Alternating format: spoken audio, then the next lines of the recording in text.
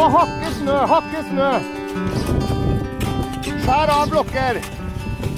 Det som er viktig når du eh, skal ferdes på tur, det er jo å tenke på sikkerhet. Og i dette tilfellet skredfare. Eh, det å gjenkjenne skredfarlig terreng eh, er viktig. Terreng som er mer enn 30 grader bratt, det er der det statistisk oftest gjeng snøskred.